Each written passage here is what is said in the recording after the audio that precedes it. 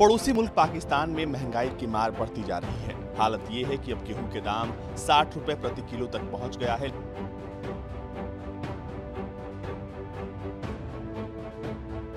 लेकिन इन सबसे परे पाकिस्तान के वज़ीर आज़म इमरान खान बुलेट प्रूफ कारों को खरीदने पर पैसे लगा रहे हैं।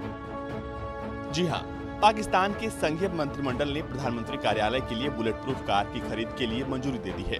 वो भी एक दो नहीं, बल्कि पूरी 33 बुलेट प्रूफ कारें। ये वही इमरान खान की सरकार है जो सत्ता में आने से राष्ट्रीय खजाने को मज़बूत करने और कई तरह के खर्चों में कटौती करने की बात कह रही थी, लेकिन हुआ इसके ठीक उलट। इमरान ने सिर्फ़ और सिर्फ़ प्रधानमंत्री आवास पर रखी गई आठ भैंसों की नीलामी कराई, क्योंकि ये भैंसें पूर्व प्रधानमंत्री नवाज़ शरीफ के कार्यकाल के दौरान खरीदी गई थी।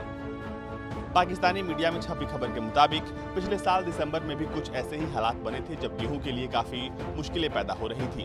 अब फिर से इस साल अक्टूबर में यही हाल हो गया है। रिपोर्ट में दावा किया गया है कि दिसंबर तक हालात और बिगड़ सकते हैं। दाम में बढ़ोतरी के बाद पाकिस्तान में अनाज एसोसिएशन ने सरकार से अपील की है कि उन्हें फंड दिया जाए, ताकि वक्त पर फ़सल पैदा हो सके और दाम में कटौती आ पाए। हालात ये है कि ना तो केंद्र सरकार, ना ही किसी प्रांत की सरकार की ओर से फंड देने का भरोसा दिलाया गया है। महँगाई ने पाकिस्तान में हाहाकार मचा रखा है, लेकिन इमरान सरकार अब भी सोई हुई है और कश्मीर के सपने देख रही है, वो भी बुलेट प्रूफ कारों के साथ। पाकिस्तान की जनता महँगाई को लेकर बेहाल है, लेकिन इमरान सरकार अब भी कश्मीर के लिए बेचैन है।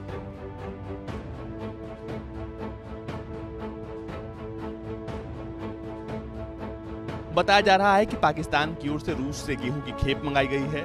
रूस से आ रहा दो लाख मीट्रिक टन इस महीने पाकिस्तान पहुँच जाएगा। पाकिस्तान में अब प्रधानमंत्री इमरान खान को प्रस्ताव भेजा जाएगा कि रोटी की तरह ही गेहूँ, चीनी और चिकन के दाम फिक्स किए जाएँ। दूसरी ओर पाकिस्तान में बीज को लेकर भी मारामारी मची है। किसानों और बीज कॉरपोरेशन ने सरकार से 24 घंटे के अंदर दाम तय करने की मांग की है। एक्सपर्ट ने इसके बढ़ने की आशंका जताई है। पाकिस्तान में महँगाई की वजह ये भी है कि उसे भारत से पंगे नहीं लेने चाहिए थे, क्योंकि उसी के लिए फैसलों ने उसे इस हालात तक पहुँचाया है। भारत से व्यापारिक रिश्तों की समाप्ति के साथ ही पाकिस्तान ने महँगाई की मार झेलनी शुरू कर दी थी।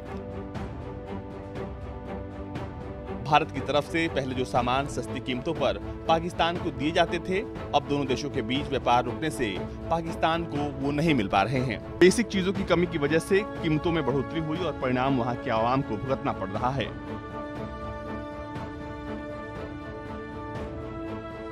ब्यूरो रिपोर्ट, भारत तक।